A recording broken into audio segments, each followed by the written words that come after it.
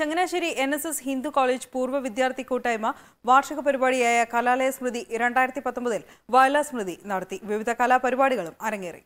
Sharjah Indian association ഹാളിൽ വെച്ചാണ് Changanassery N S S Hindu college പൂർവ വിദ്യാർത്ഥി കൂട്ടായ്മ വാർഷിക പരിപാടിയായ കലാലയ സ്മൃതി രണ്ടായിരത്തി പത്തൊൻപതിൽ വയലാർ സ്മൃതി നടത്തിയത്. പരിപാടിയിൽ അന്തരിച്ച പ്രശസ്ത ഗാനരചയിതാവ് വയലാർ രാമവർമ്മയുടെ പത്നി ഭാരതി തമ്പുരാട്ടിയെ ആദരിച്ചു. മകൻ വയലാർ ശരത്ചന്ദ്രവർമ്മ പരിപാടിയിൽ പങ്കെടുത്തു.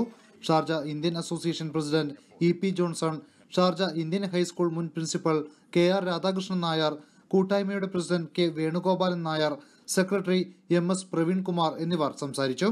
തുടർന്ന് പ്രശസ്ത ഗായകരായ കല്ലറ ഗോപനും ചെങ്ങന്നൂർ ശ്രീകുമാറും നയിച്ച വയലാർ രാമവർമ്മ രചിച്ച ഗാനങ്ങളുടെ ആലാപനവും കുട്ടികളുടെ നൃത്ത ആവിഷ്കാരവും ഉണ്ടായിരുന്നു. മഞ്ഞത്തൂകിൽ ചുറ്റിക്കൊണ്ടും മണിക്കുഴലൂതിക്കൊണ്ടും കണി എൻ ടി വി ഷാർജ. ജനങ്ങൾക്കൊപ്പം വാർത്തയ്ക്കൊപ്പം നന്മയോടൊപ്പം. NTV UAE to the world.